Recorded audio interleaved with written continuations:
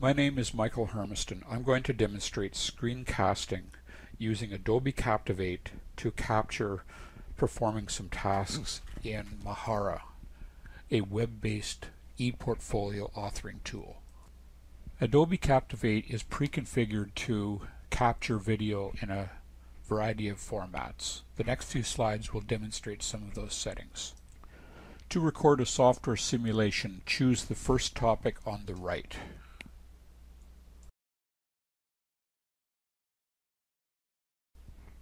After pressing the software simulation button, you will then be taken to this screen where you can choose various options. In this case, I have chosen the application, which is Windows Explorer in this case, and full motion video.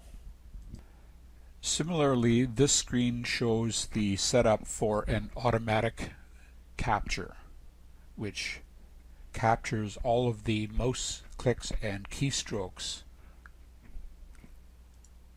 and this screen shows the setup for a manual capture, which also captures keystrokes and mouse movements, but fewer slides than in a full motion video. After you've completed your profile information, this is the view that you will see every time you log in. I have already created a view which is called MDDE610. You'll see that down in the bottom left hand corner. In order to create a view, you click on the create view or copy a view. In this case what we'll do is we will click on MDDE610 and see what I have created. So in my portfolio I've got profile information on the left with a picture, a blog in the middle, and files to download on the right. If we click down to the bottom we'll see uh, more blog entries. Now, unfortunately, the blog posts in most recent at the top uh, rather than the other way around, which is the way I would prefer it. However, uh, I'll demonstrate putting a blog entry in. So you'll notice that I clicked on my blog and then we go to new post. It's going to prompt us for a title.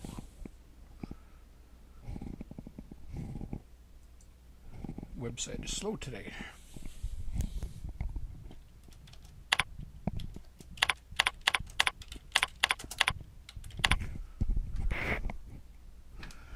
And now I have already created a text because my typing is so bad and I'm going to cut and paste it into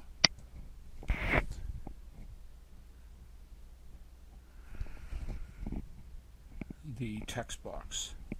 At the bottom we have some options. Now for demonstration purposes I will click the draft box. If you do that it will not publish it to the blog. But in fact, what it will do is it will be here in the blog entry, but it will be listed as a draft and will have a publish button beside it. You'll notice that the rest of the one entries below that are all published. So we will click on publish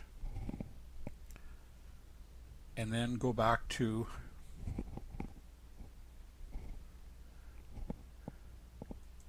my portfolio, views, and the view that we're working on, and there is the entry that we have just, just inserted.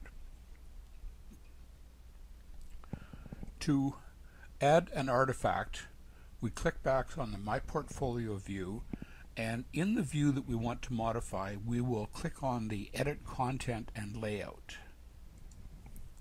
This is how I got the wider column in the middle. So there are multiple artifacts in here. So we're now on the blog entry, so we can just click a blog down, our blog portion down, and create that view. However, what I'll demonstrate is inserting a file to download. So the file to download icon is right in the middle. We click on it. I've just done a left click and I'm going to drag it down onto my screen. And you follow the mouse down and left click and it inserts the the file at that point. The default text is files to download which I will leave.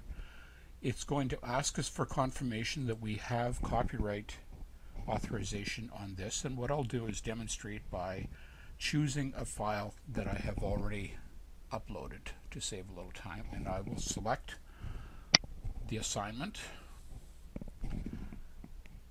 and once that is done I will save it and then we can see that the file is now here in the file list. So other things that we can do here, back to this view, is we can control who has access to the information. So I'm going to go to the MDDE 610 view and edit access.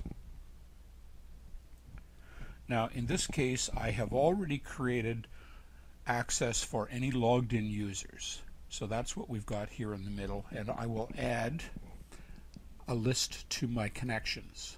Now I don't have many connections but I will add that in and that creates a box over here.